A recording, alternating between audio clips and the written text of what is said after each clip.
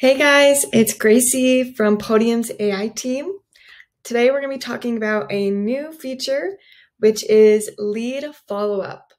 Um, we're super excited to announce this feature because it gives Jerry and your AI employee another chance to re engage with your leads. Let's take a look at what this looks like in the inbox. You can see that Jerry was working a lead, but the customer did not respond to Jerry's question if they wanted to schedule an appointment for service we can see that about two hours later, um, Jerry responded saying, Hey, Jerry here. Is there anything else I can help with? Or do you have any other questions? This is our new feature, the leads follow up. This can be set to go out at a certain amount of time. So 24 hours after your previous message. And it also can have a certain set of intervals.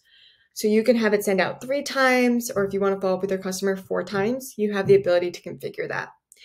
Um, we're super excited to announce this new feature as it gives Jerry more opportunities to follow up and re engage with your customers.